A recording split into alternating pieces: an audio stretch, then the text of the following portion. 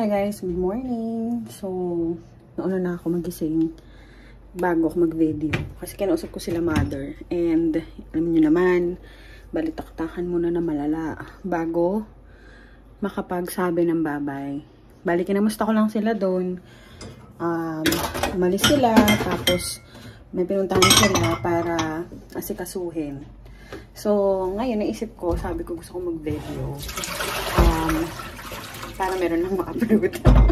Pero gusto ko lang din talaga mag-video. Para at least magsalita-salita man lang, may kausap man lang, ganyan.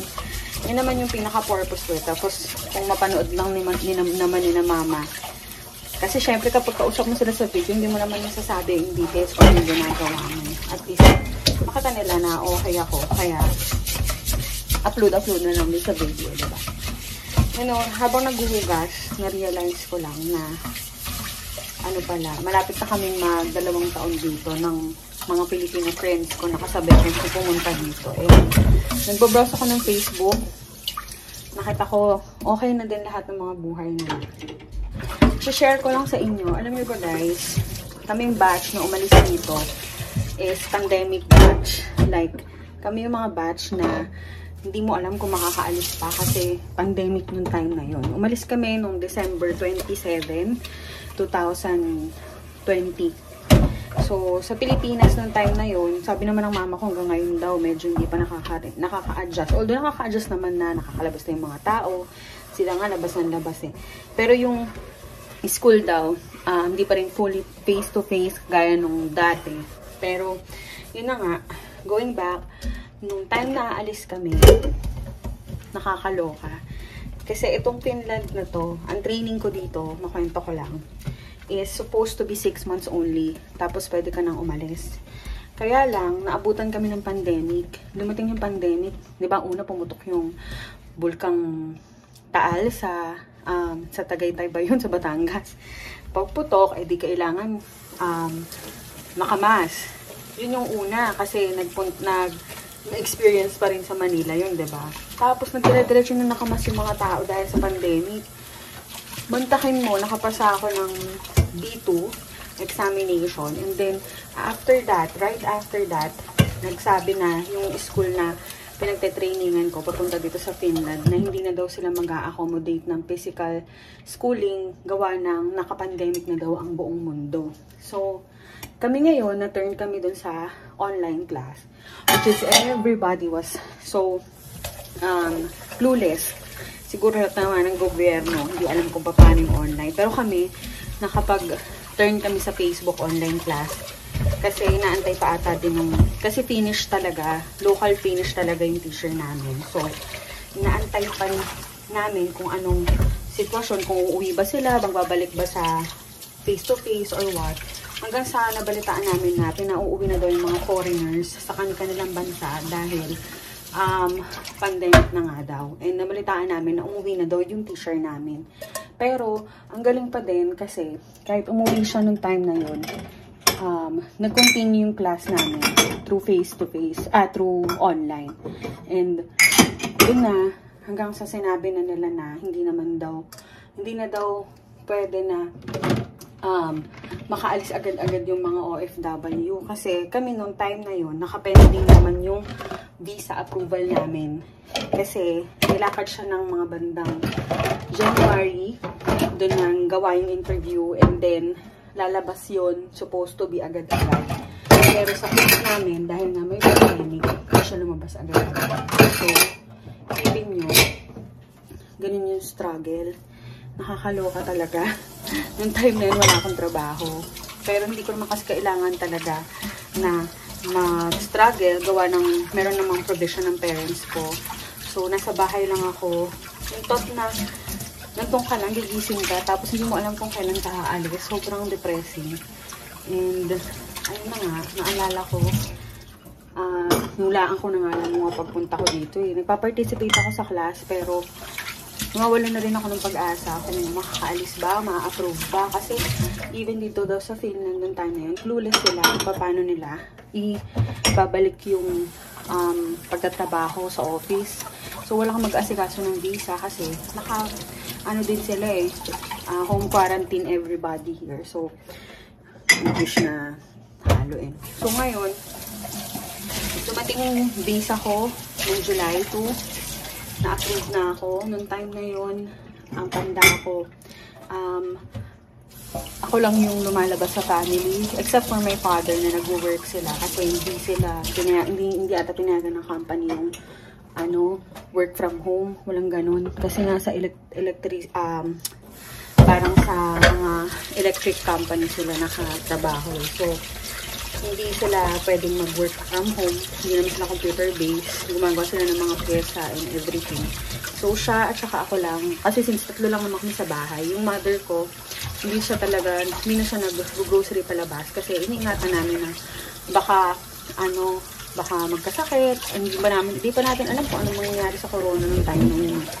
And then, ako naman, lumalabas. So, naging blessing in disguise din kasi yung pagka-pending ko ng alis, going here, ako yung naging parang tagalabas, labas para bumili ng mga goods namin for the family.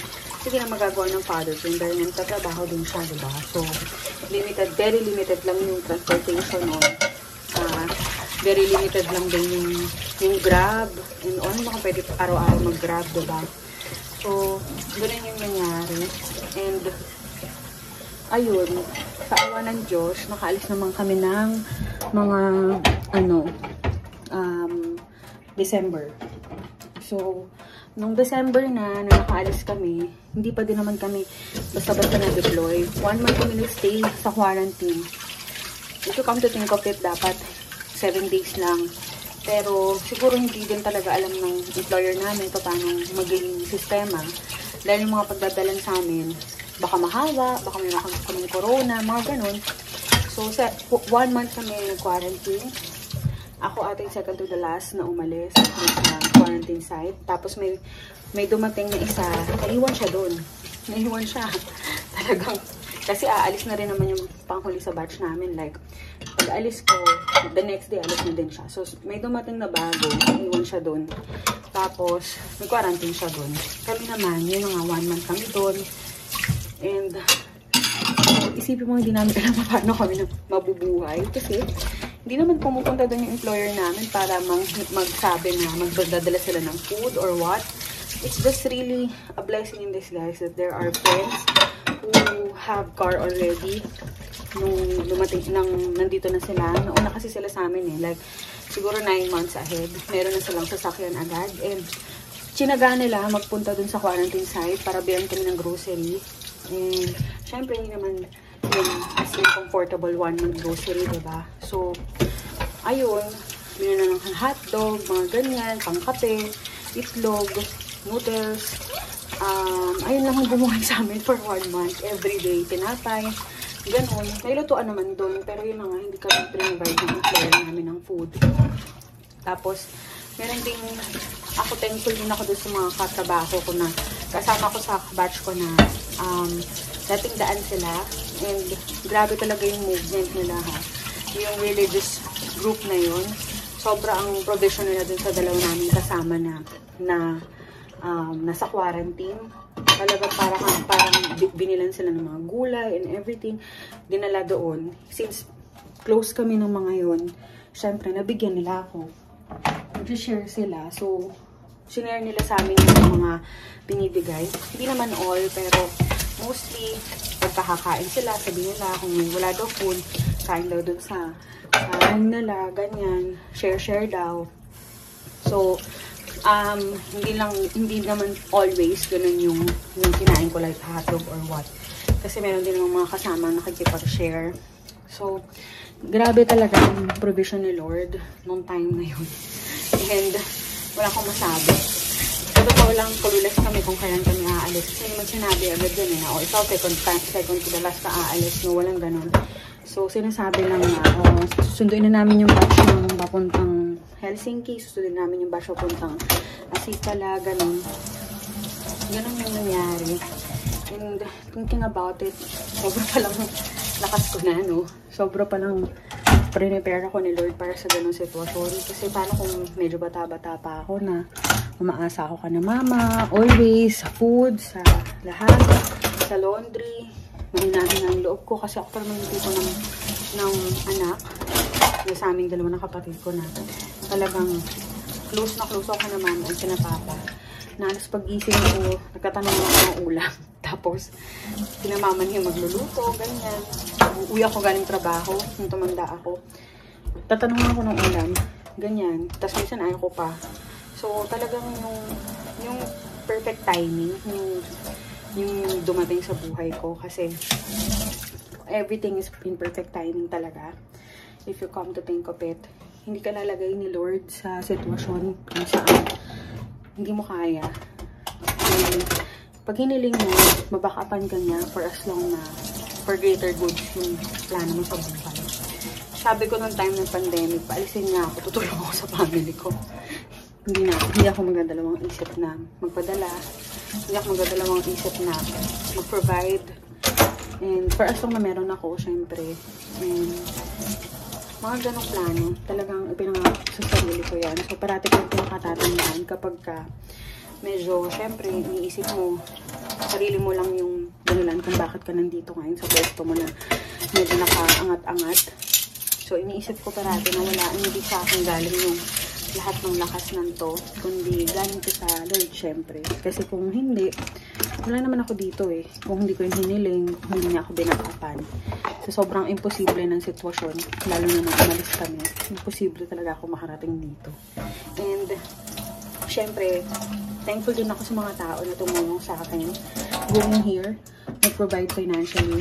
Mga auntie ko, mga, mga, yung parents ko, syempre, yung parents ko, yung syempre yung uh, mom ng boyfriend ko na uh, nagbigay sa akin ng onting allowance going here uh, ex-boyfriend ko yun.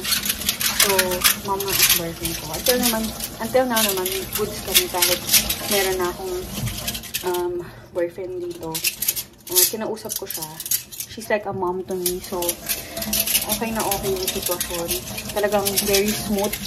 Um, although, yun na nga, sabi ko nga sa inyo lang mabilan. Kahit may pera ka na hawak, hindi mo naman agad mabibili yung mga gusto mo kasi nga pandemic, diba? Tapos hindi ka naman pwede lumabas kasi considered kayo as nagka-quarantine. So, ayun. Pero, everything is good na nung dumating kami dito, dito sa place kung saan ako nag-apply, everything is fine. Well provided kami ng company na pinagdahan sa amin. Yung boss namin very nice. Yung mga tao very helpful. Although, mahirap yung language nila, hindi kami agad naiintindihan. Kasi iba talaga yung ano, pinag-aralan namin sa salita nila. So, dalawa kasing klase dito. Merong yung sinasalita nila, parang colloquial, colloquial finish and yung formal finish. Yung formal finish yung napag-aralan namin. So, very different sila dun sa um, finish talaga na sinasalita ng mga tao. Sana okay audio. Hindi nadidig yung mga pinaghuhugas ko dito. Pero yun na nga. Kapag ganito na naglilinis ako ng bahay, nagbibilig ako ng halaman. Naisip ko yun. Siguro kung tumatanda na ganun talaga. Naisip ko na dito na ako ngayon sa pangarap ko. Actually, hindi ko inisip na magiging ganito yung buhay ko. Like, live alone, having your own plans, mag-work, tapos tutulong sa parents, 'di ba? Kasi usually talaga ang mga Pinay na yung normal noon ha, hindi naman ganito yung pinatahak na landas. Kundi nang aasawa, ganyan, after ng college, may onti lang na mag-enjoy, onting makatulong, 'di ba? Pero iba talaga na ang Pilipino ngayon. Modern na, hindi ko akalain nakasali ako doon sa modern Pilipina na susubok na makaalis ng ibang bansa para mabuhay ng single. diba? So, praise God din talaga na nangyari to sa akin. And siguro ito talaga yon Kaya hindi mag-workout yung mga plans ko before na pinag-iigihan ko. Hindi din talaga mag-workout workout yung Dubai, yung UK, Australia. Ang dami ko nang workout. Saudi. Tapos itatanong na ako ni Taylor bakit hindi pa na binibigay sa akin yung mga ganong sitwasyon. Samantalang yung mga iba kong kasama nasa Saudi na. Yung pala, meron siyang nasa Europe pala kung napunta na So, just feel like at I'm at my best now. So, I'm vlogging again and again and again.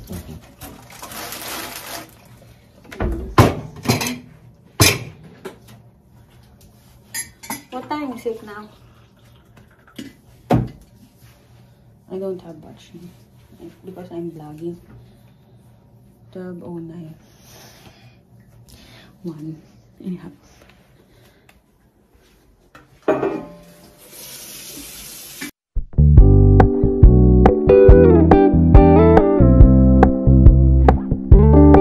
We're gonna keep it low key, keep it softly spoken, with no strings tying you to me.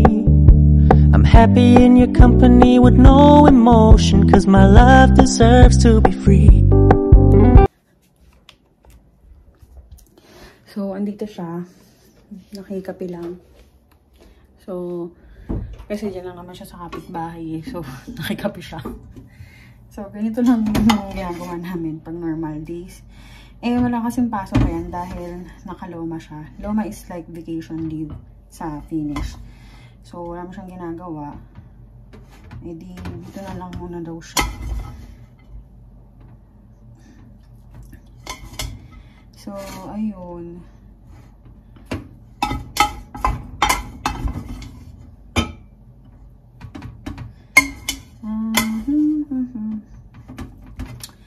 Ko, wala na rin ako masabi dito sa vlog ko eh. Kasi, dami ko, dami ko. Masarap lang din magluto, ganyan. Papakita mo, mga ganyan. So, hindi ko na alam kung anong lulutuin ko. Iniisip ko, gusto kong magluto ng macaroni. Kasi macaroni ako eh. Pero, hindi ko naman gusto. Parang hindi ko rin gusto.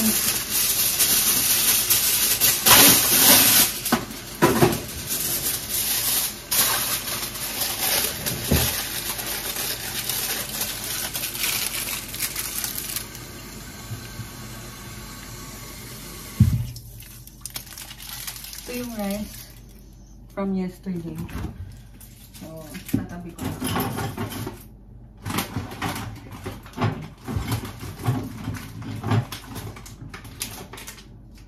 So, 29 pa kilo. Ano kumain? Lahat din naman na ako. Yun ang pinakagusto kong mangyari. Kumain ngayon. Kaya naghahatid ako. Wait lang, tatanungin ko siya. Babe, are you not? Tanong ako, since vacation leave naman siya, sabi ko sa kanya, baka gusto niyang gumawa ng pagkain. Dahil ako ay naka afternoon shift. So, guys, tingnan nyo. Ang hotdog dito is color brown. Wala sila yung tender juicy hotdog. Actually, yung nainanap ko, akala ko, ano na yun, internationally made na yun. Hindi pala. Wala sila dito. Ewan ko ba dito sa Finland. Nakakaloka. So, ayan. Ay di, dahil wala sila, ako na lang muna gagawa ng late shift. Ang tagal ko hindi nakakain ng hotdog sa totoo lang. Kasi nga, nung nag-quarantine kami, ito lang yung food na parang pinaka easiest and available na pinadala sa amin na hindi agad masaspoil ng mga kasama namin dito na Pinoy na nauna. So, ang tagal kong hindi kumain ito, siguro magiging isang taon din. hindi siya naging puro choice ko kasi nga sobrang natataksa sa isip na food to sa quarantine. Tinanong ko yung friend ko sa phone kahagabi. Sabi ko, walang pulang hotdog dito, no? Sabi niya, o nga, wala eh, color brown lang. Sabi ko, anong, ano ba lasa noon? Tinanong ko, sagot mo naman sa akin. Lasang quarantine daw. Paano ka na nila pag sumasagot yung isang ngayon. Nasang quarantine daw yung hotdog. Which is, naaalala mo talaga yung quarantine kapag ka gano'n. So, ngayon nag-stock ako niyan kasi if ever gustong kumain ng gawawits ko, gagrab lang niya. Mabilis lang lutuin. So,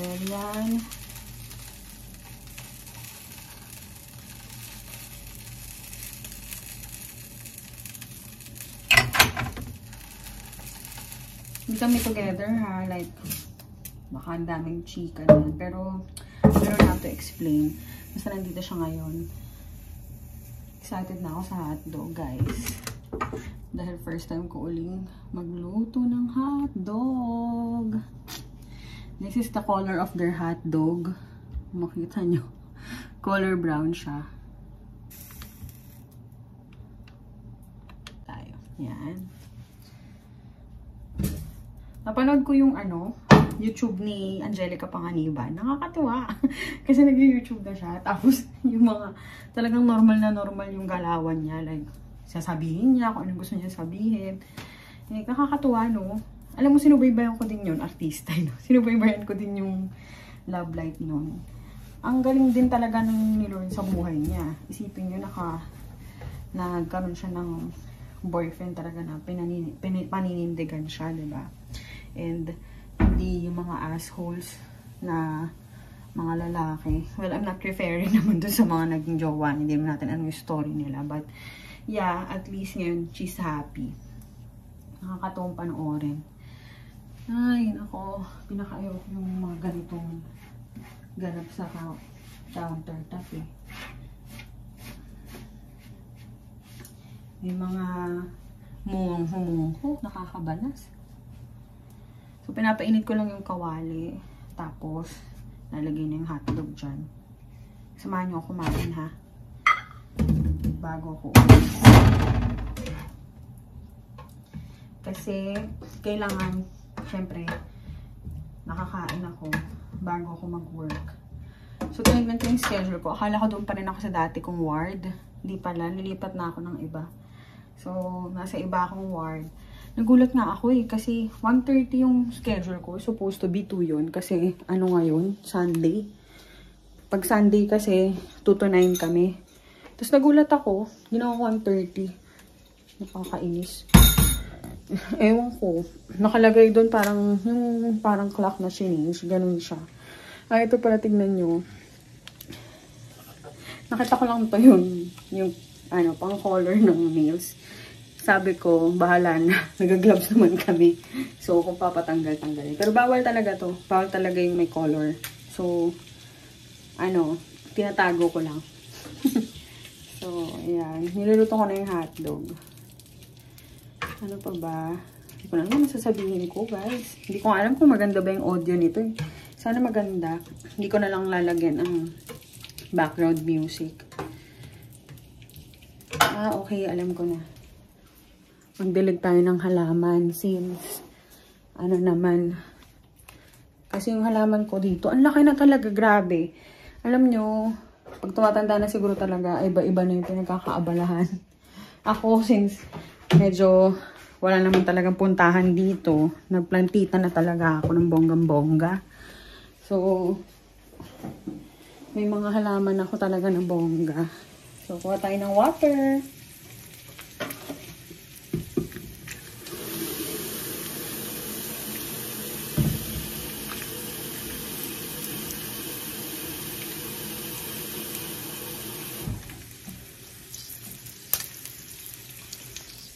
Alam niyo, yung mga halaman ko, ang kwento niyan, hindi ko talaga gustong mag-alaga. Kasi nga, baka mamatay. Dahil hindi naman ako kahit kailan nag-alaga ng halaman sa Pilipinas. As in, clueless. Ang daddy ko lang, ang tatay ko lang ang nag-aalaga niyan. Hindi siya nag, hindi, hindi niya yan shinare sa amin yung ganyang knowledge. Wala kaming, wala kaming training sa pag-aalaga ng halaman. So, Nung napunta ako dito, ang pinaka first plant ko yung peace lily na nasa sala. Binili ko siya, iningganyo ako ng friend ko na bumili, sabay kami. Pag-grow daw namin. So, inisip ko yun lang yung magiging halaman ko sa panambuhay ko. Hanggang sa yun na, nung dumating na, nung naisip ko lagyan tong, ano, um, balcony ng halaman. Ang ganda niya, promise. Tapos nakikita mo silang nag-grow.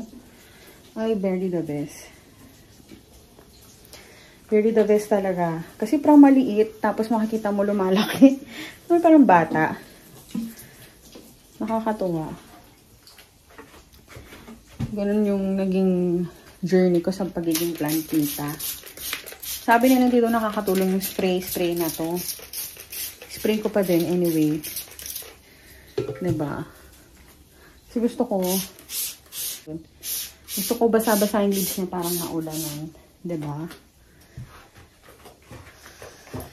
Oh, pasok na tayo uli. Um, kailangan ng ano to, dito kayo sandali.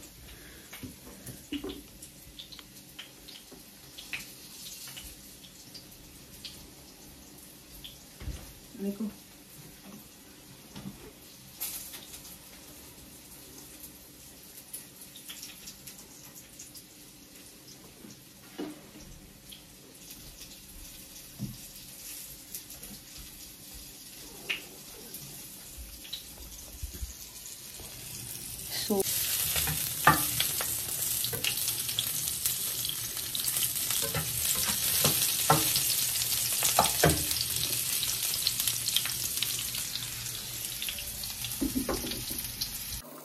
Getting mighty tired of your trifling ways and of listening to that jackass Bray.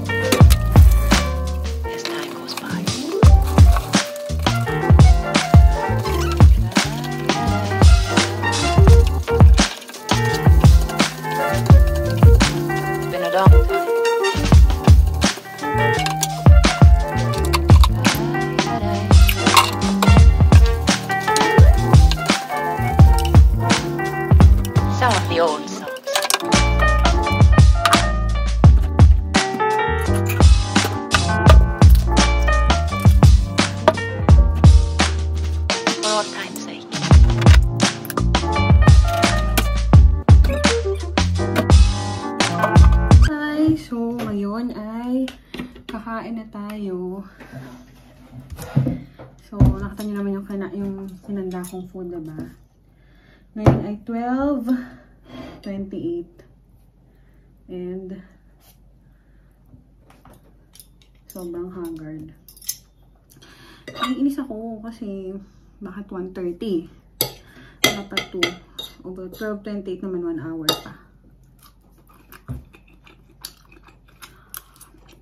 Mm-hmm.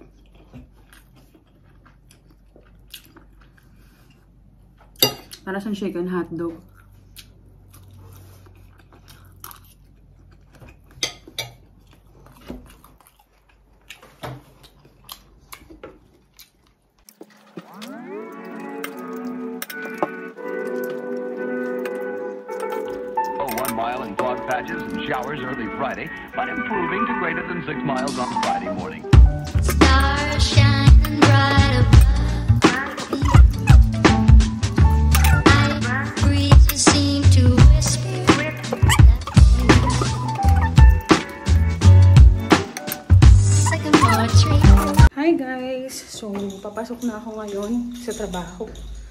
Bali, 1.30 nga kasi yung schedule ko.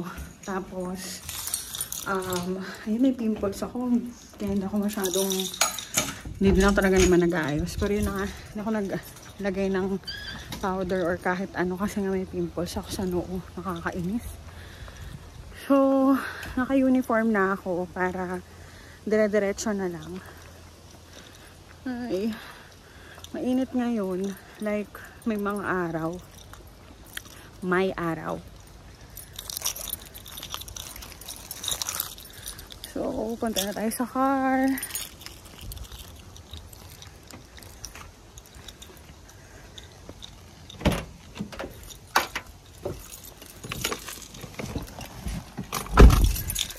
So, ang init.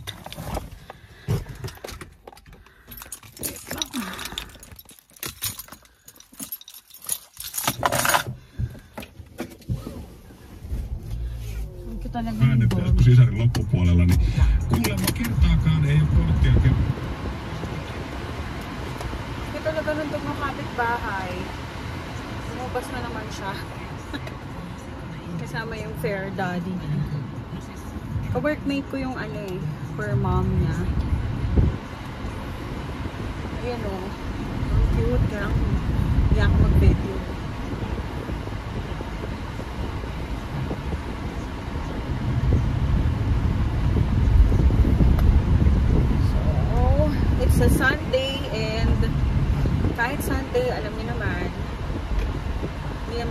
ko naman pinipili yung pasok ko eh. So, kahit Sunday, bibigay sa akin ng boss ko yung schedule ng Sunday, pinapasukan ko siya. Wala pa ako dun sa time na gusto ko may particular ano ko, off ako. Before, ang alam ko, pwede yon yung i-request mo na lang yung yung araw ng pasok mo, tapos ikaw magtatalaga ng off mo. Kaya lang last month, nagbago kami ng boss. Sabi niya, hindi na daw pwede yun kasi maraming mga nurses na nagmo-morning shift na lang tapos hindi naman pumupunta ng hindi naman na nag, nag-afternoon shift. May iba naman mga nag ah, ano lang night shift lang. Well depende naman sa diskarte nila yan eh kung anong gusto nila.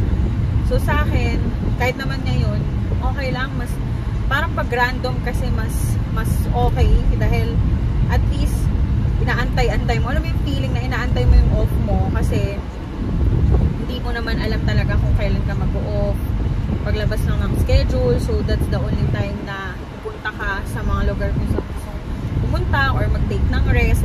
Mas ganun akong worker yung ah, hindi ko pinaplano. Pero syempre kung halimbawa meron akong gustong puntahan at special event yan like birthday ng friends ko sa ibang lugar tinatry ko naman yan na i-request ahead of time. It's just that mas comfortable ako dun sa part na hindi ako nagre-request ng mga araw na yung mga normal days, wala naman nagsabi sa akin na gusto nila akong pumunta dun sa ibang lugar na yun. Tsaka gaya nga ng sabi ko sa inyo, mukha lang akong extrovert, pero napaka-introvert ko, hindi ako palalabas. Pag off ko, gusto ko nasa bahay lang, matutulog ako. Mahalaga kasi sa akin yung rest. Talagang ang rest, eh, pinag-iigihan kong makuha yan at ma-achieve yan, parang mahalaga yan, eh, lalo na sa mga OFW na talagang um, gusto ng good performance sa trabaho. So, bali, ayun yung work-life balance ko. Hindi ako yung tipong, ano, um, wow, kamukha ng car ko. Nakakatawa. Crush kayo ba to? Or, diba? So, andito na, me.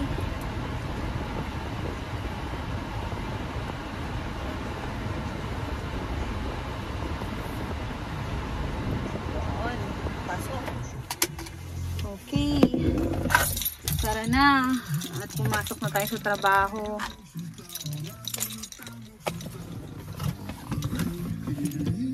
Cash kay ata yung car. Kambal. Ay, oo. Ay, hindi. Ash. Ano? Iba pala. Moy? Iba pala siya. Ano siya? Opel Astra.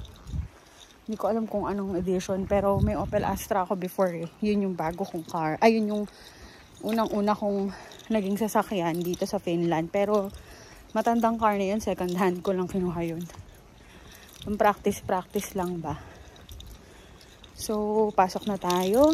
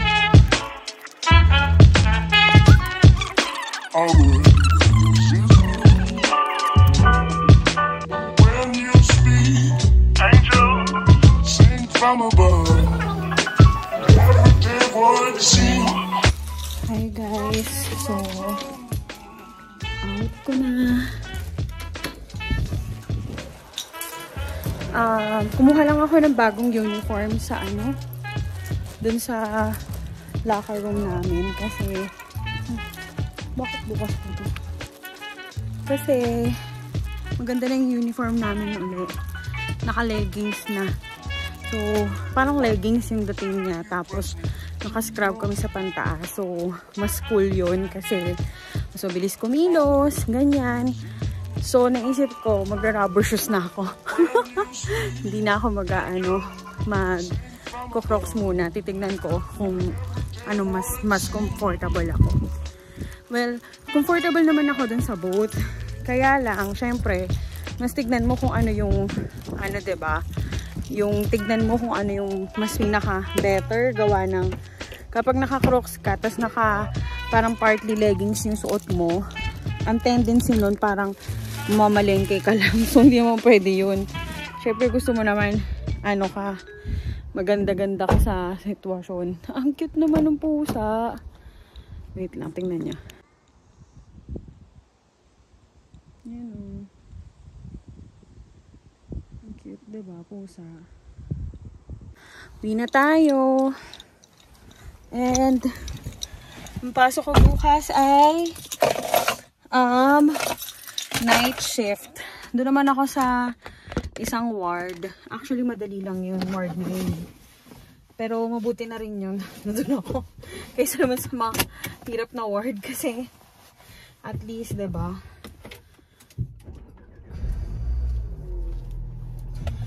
So, ayan. Dahil nag-uusap tayo, hindi ko lalakasan yung ra wala.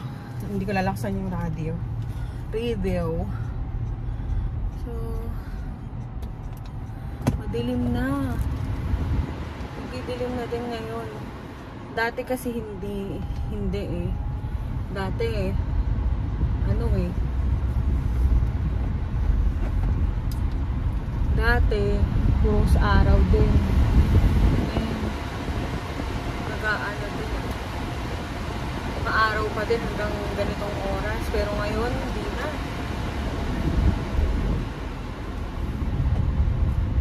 Na din. Ewan ko kung halata ba sa video na nagdidilim na or what. Pero, madilim.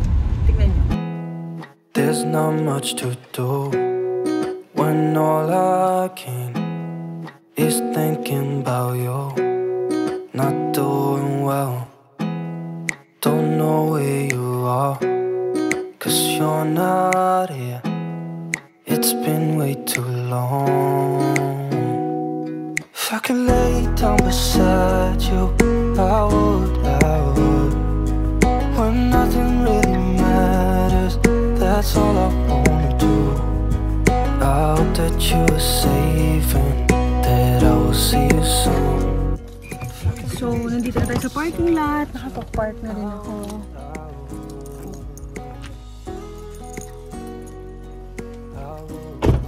Park ko lang yung gamit ko.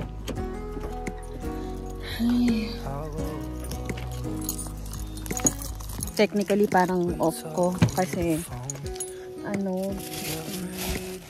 mahabang tulugan. Pero, syempre, kapag ka nagsunod-sunod na to, hard na. Diba? Ay, naku, nakakalawa ko yung parking ko. Baka naman. Bakit ang layo na, besh? Ano yung sa akin? Nakakabanas. Layo ng parking ko. Wait lang. So, nasa bahay na ako. Inayos ko lang yung parking ko. Tapos, dito na ako. Ay, madilim na naman. Isip ko, sa winter, mas madilim to.